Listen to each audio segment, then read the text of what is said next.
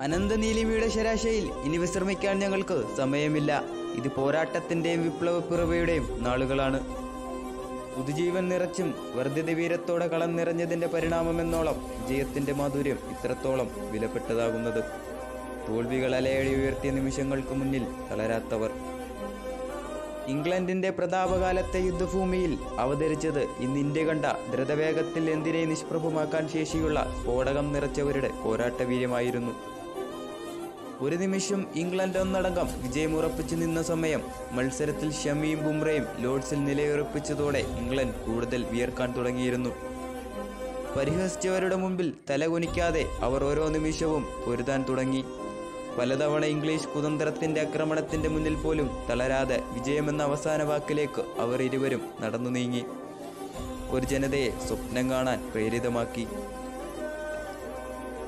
ഇരുന്നൂറ്റി തൊണ്ണൂറ്റെട്ട് എന്ന ലീഡിന്റെ പിൻബലത്തിൽ ഇന്ത്യ ഇംഗ്ലണ്ടിനെ ബാറ്റിംഗ് അയക്കുമ്പോൾ ഇംഗ്ലണ്ടിന് പ്രതീക്ഷകൾ ഏറെയായിരുന്നു. പിന്നെ കണ്ടത് ഇന്ത്യയുടെ ബോളിംഗ് ഇതിഹാസങ്ങളുടെ കടന്നാക്രമണം തന്നെയാണ്. ഓരോ ഇടവേളകളിലും ഇംഗ്ലണ്ടിന്റെ കൂടാരത്തിലേക്ക് ഓരോരുത്തരായി മടങ്ങിക്കൊണ്ടേയിരുന്നു. സിറാജും ബുംറയും ഷമിയും ഇഷാന്തും കളം നിറഞ്ഞു നിന്നതോടെ മറുപടിയില്ലാതെ നിൽക്കുന്ന നിസ്സഹായതയുടെ ഇംഗ്ലണ്ടിനെയായിരുന്നു പിന്നെ കണ്ടത്. ഇംഗ്ലണ്ട് ശരിക്കും ഇന്ത്യയുടെ ചൂടറിഞ്ഞു തുടങ്ങി. ഇരുന്നൂറ്റി തൊണ്ണൂറ്റെട്ട് എന്ന വിജയത്തിലേക്ക് നീങ്ങിയ ഇംഗ്ലീഷ് പടയെ നൂറ്റി ഇരുപതിൽ തകർത്തെറിഞ്ഞ് ഇന്ത്യൻ പടയാളികൾ ലോഡ്സിൽ വിജയപതാക പറിച്ചപ്പോൾ ചരിത്രം തിരുത്തിയവരുടെ പേരുകളിൽ അവരുടെ പേരും എഴുതി ചേർക്കപ്പെട്ടു. തോൽവികളുടെ ഭാരം നെഞ്ചിലേറ്റിയവർ ഒരു മനസ്സോടെ പൊരുതിയപ്പോൾ ക്രിക്കറ്റ് ലോകം കണ്ടത് ഇന്ത്യ എന്ന മഹാശക്തിയെയാണ്. തുടരുക ഇന്ത്യ ഇനിയും മുന്നോട്ട് തന്നെ.